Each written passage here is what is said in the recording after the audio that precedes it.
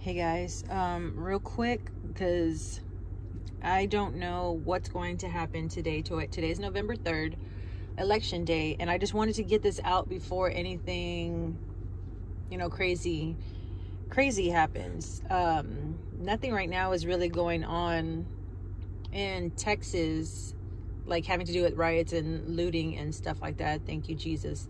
Um, but today's election, I don't know what's going to happen, but I wanted to get this out before. My son had a dream um, this past Saturday, which was October 31st on Halloween.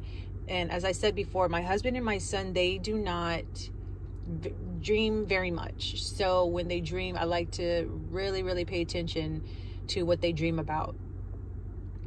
So my son came to me before. He's like, "Mom, I need to tell you a dream that I had before I go to work. Let me tell you." And I said, "Okay." So he said, um, "I didn't see anything. I just heard, with I just heard a voice say, war will start on the 18th.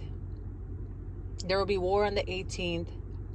And the only ones that will survive are the ones with six shooters.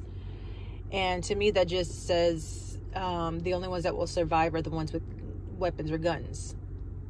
Um, but we all know that the only ones that will survive are the ones that have Jesus Christ in their lives. But um, yeah, that was his dream. I wanted to get it out real quick before anything. Um,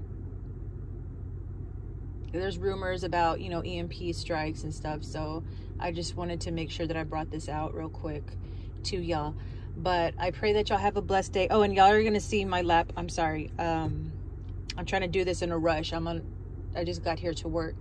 Uh but i love you guys. Have a blessed day. Continue to keep your faith. Stand strong with the lord. And um i will talk to y'all later whenever i get a chance. Love you guys. Bye